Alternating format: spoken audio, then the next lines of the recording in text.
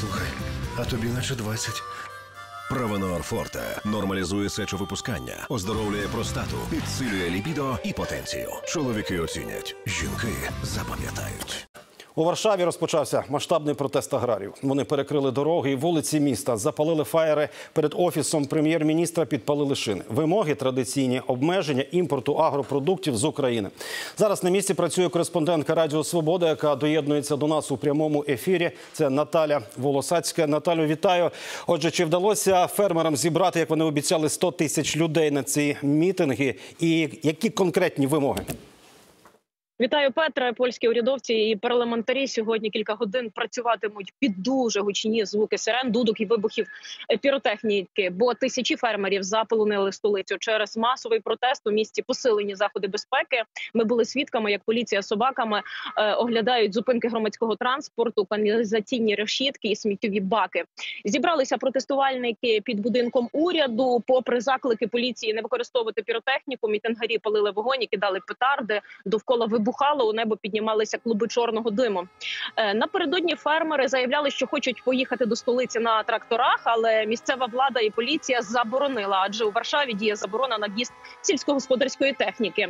Е, Від уряду протестувальники колоною пішли до Сейму. Організатори анонсували власне, що участь візьме понад е, 100 тисяч людей, але підрахунків ще немає. Крім аграріїв, тут лісники, мисливці, гірники це такий їхній вияв солідарності. Фермери сподівалися, що е, з уряду до них хтось вийде на розмову, але прем'єр напередодні запросив фермерів на другий етап переговорів аж у суботу, 9 березня. Вимоги польських е, фермерів останнім часом незмінні. Вони виступають проти європейського зеленого курсу. Також аграрії вимагають призупинити імпорт сільськогосподарської продукції з країн поза ЄС, передусім з України.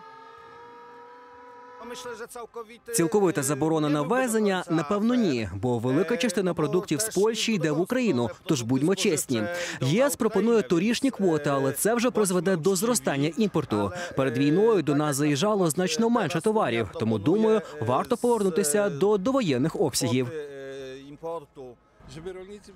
Щоб фермери були задоволені, треба скасувати зелений курс. По-друге, дозволити Україні жити і пропускати те, що можна, і те, що треба, бо їм теж треба жити, як і нам. Але ми мусимо захищати польських фермерів, бо як вони збанкрутують, то що будемо їсти ми? Німці привезуть з Аргентини і продадуть нам утричі дорожче. Тому ми підтримуємо аграріїв. Ми самі є споживачами. Офіційна позиція Варшави ЄС має допомогти польським фермерам вивести і продати збіжжя, яке є в залишку. А це за словами Дональда Туска 9 мільйонів тонн. Е, щодо запровадження ембарго на російську і білоруську агропродукцію, то Сейм Польщі має намір звернутись до Єврокомісії, аби ухвалити таке рішення спільно, а не одноосібно, як, наприклад, Латвія. Що ж до торгівельних взаємин з Україною, то тут наразі немає е, якогось єдиного бачення. Прем'єр говорить і про введення певних квот, які були прийнятними для польського фермерства. Також не відкидає Туск тимчасового закриття кордону з Україною для товарообігу. Варто зазначити, що через фермерські блокади, а перед тим блокади польських перевізників, українська економіка вже втратила 2 мільярди злотих. Е, Це інформує посол України у Польщі Василь Зварич. каже, що втрачає і польська економіка, адже блокада кордону серйозно перешкоджає торгівлі Польщі з Україною, яка торік становила приблизно 13 мільярдів євро. А це наголошу вдвічі більше е, ніж обсяг українського експорту до Польщі.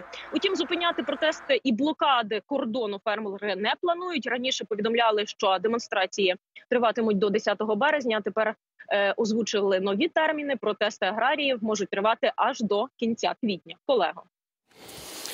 З нами була Наталя Волосацька. Дякую. Підписуйтеся на наш канал, ставте лайки та залишайте коментарі, щоб допомогти нам донести важливу інформацію до більшої кількості глядачів.